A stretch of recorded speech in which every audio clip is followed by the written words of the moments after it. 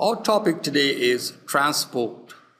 We will be looking at how transportation takes place within plants and later on within animals. Let's have a look at what happens when transportation takes place in plants. We will have a look at the xylem vessels. In order for an organism, be it a plant or an animal, to maintain its life, it requires food, oxygen, carbon dioxide, and water to survive. These are essential elements for growth and development. They have to be supplied within all the parts of the body, be it a plant or an animal, to the cells by vessels or tubes. This mode of carrying absorbed and digested food to all the parts of the organism's body is referred to as transportation.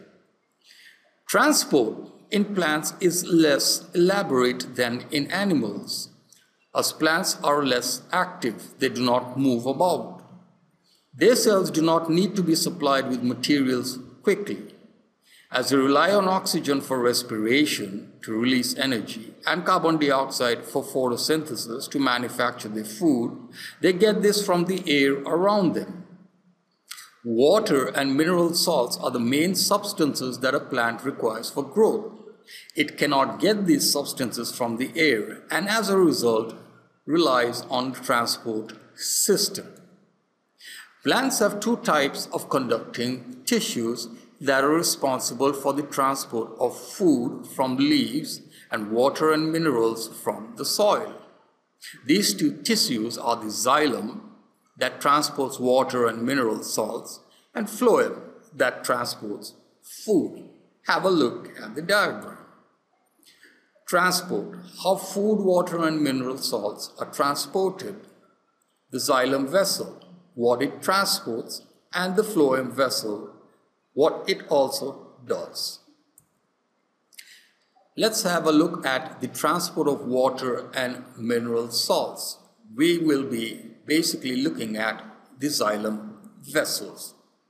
We know, we know that plants require a lot of water and mineral salts for processes like photosynthesis. They absorb these elements from the soil. These are then transported by the xylem tissue, which is made up of two vessels, namely the xylem and the tracheids. The xylem vessels are long, non-living tubes that run like a drain pipe through the plant. They are made of hollow dead cells called vessel elements joined end to end and do not contain cytoplasm or nuclei. Their walls are made up of a substance called cellulose and lignin, of which lignine is a hard substance. As a result, xylem cells are lignified and hard and keep the plant upright. Xylem vessels run from the roots to the stem to the leaves of a plant. They branch into every part of the plant. In flowering plants, either the xylem or the tracheid vessels transport water or both do it together. The tracheids are long, thin, spindle-shaped cells with pits in their thick cell walls. Water flows through these pits from one tracheid to another.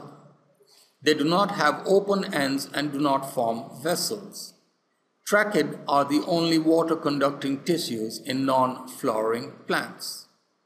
The epidermis is the outermost layer of the root and is only one cell thick. The endodermis is the innermost layer of the root and in between these is the root cortex. The root hairs are composed of xylem vessels, hence called the root xylem, and responsible for carrying water from the root hairs to the parts of the plant. How does water and minerals get transported? The root hairs of the plant absorb the water and minerals from the soil by a process called diffusion. These elements then pass from cell to cell by a process called osmosis. They go from the epidermis to the root cortex to the endodermis and reach the root xylem. The xylem vessels of the root are connected to the xylem vessels of the stem. As a result, the water and mineral salts enter the stem and are carried by the branched xylem vessels and then distributed to the leaves and parts of the body of the plant.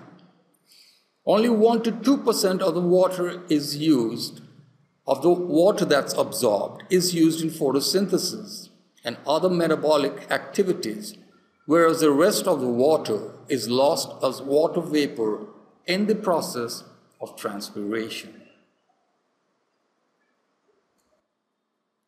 I hope you have enjoyed the presentations. If you'd like to see more presentations, you can always visit us on our website at www.arinjayacademy.com. Furthermore, for a subscription, you could always check us out on Facebook at www.facebook.com slash arinjayacademy.